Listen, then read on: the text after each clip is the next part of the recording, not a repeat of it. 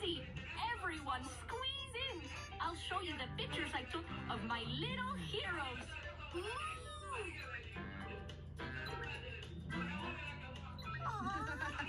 So even though the beavers changed a lot about the area, what will never change is how proud I am of my students.